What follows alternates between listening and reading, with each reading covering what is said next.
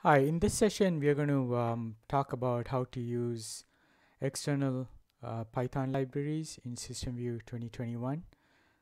Python scripting was a new feature that was introduced in 2021. Before that you could either use MATLAB or you could use uh, SystemVue Basic to do scripting. With this extension of Python uh, scripting, now you can do a lot of uh, things and use some of these external libraries to extend the capability of SystemVue. So in this example, we'll be using one of the shipped examples called 2D graphs.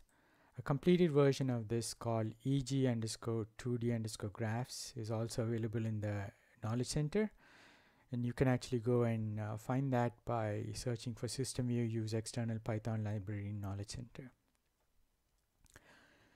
Two things that we have to do before we use uh, Python in uh, SystemVue is to first install Python 3.8 in System SystemVue 2021. The ship documentation of System SystemVue 2021 talks about how to set that. Uh, and then next um, we need to set the path variable. So um, to add the, the Python executable directory and also make sure that Python 3.8 is uh, before other Pythons that you might already have installed. The next step is to install any external Python libraries that you may want to use. In this example, we'll be using the matplotlib for plotting and then numpy for some uh, uh, operations. So you open a command window and then type pip install matplotlib and then pip install numpy and then uh, it'll install the library. Here um, we show how to uh, install the, the pip install numpy. So once these libraries are installed, then uh, you can use these libraries in SystemVue scripting. The first thing you want to do is to add an equation. So add equation. We already done that here. And then next step would be is to decide what scripting you want to use, in this case Python. So right click on language and then say select Python.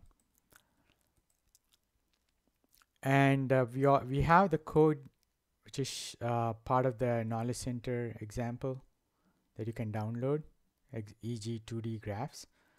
So I'm going to walk through the, the Python code here and then execute it. So what this code is going to do is to take some of the plots that we already have in SystemVue, try to duplicate them in Python, and then uh, save these uh, graphs to a PDF file. So the first part of the code shows how to import the matplotlib and the OS. The second one here shows how to import the SystemVue ex extension to Python. And then these two lines call the application and then the current workspace. And the code here uh, just shows um, the datasets which has been selected right here and then the path to that code on line 25 to 34 creates the workspace of the SystemVue um, example here and then um, appends that or prepends that to the name of the PDF file. So this variable here points to the complete path of the PDF file where the output is going to be saved. And then um, line 35, 36 shows that we created these, uh, this PDF file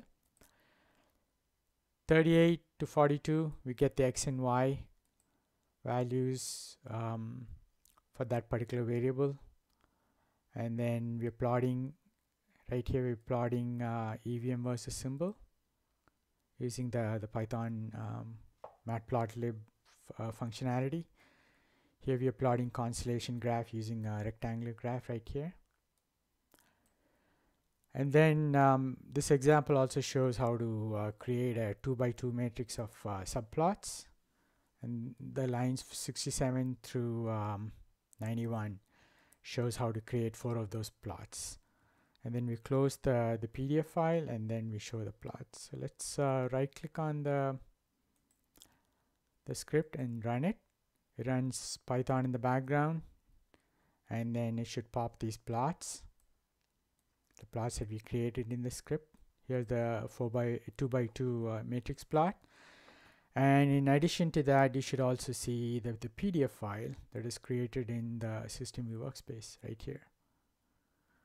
So that concludes uh, how you can extend Python in SystemVue to use some of these uh, external libraries. Thanks.